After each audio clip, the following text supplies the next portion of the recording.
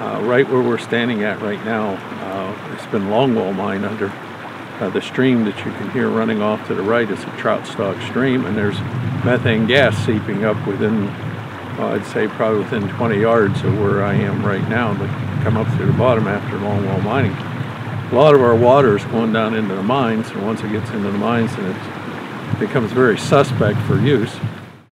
The bromide levels are just, they're just so high, you know, you're running 4,000 parts per billion and uh, that's just unheard of coming out of coal mining. Uh, the highest that I've had recorded in the intra state, which research done by Natasha Kahn, uh, was 600 parts per billion, and we're running 4,000 parts per billion.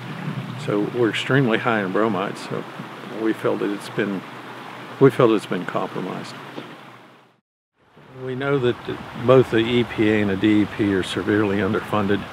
Their people can't get out 12% of the Marcellus wells drilled in Pennsylvania are never inspected once. Citizen water monitoring trained people can get out and be the eyes of these our regulatory agencies. Uh, we basically here to assist, to point out we're an early warning system saying, hey, we got a problem down here. You better come down and check it out.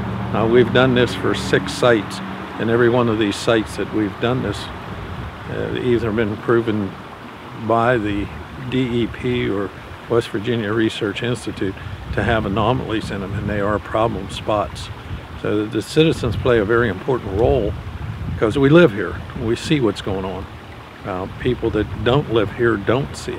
Uh, our school bus drivers are uh, people that mail carriers or PennDOT workers. They're out here every day. They, they see things that are going on and notify us by the time the DEP can get here. In many cases, the anomaly's gone, but we live here. We can be here in, in a short time and get some sampling and at least find out what the electronic conductivity is or the TDS is.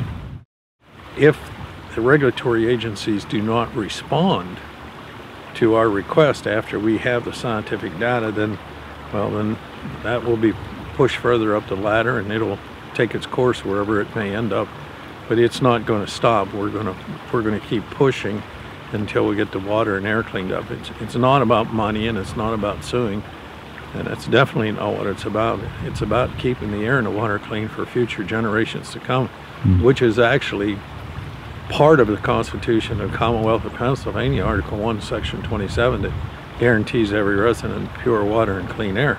And all we're doing is just trying to get those that are responsible to regulate this to follow the regulations founded in the Constitution.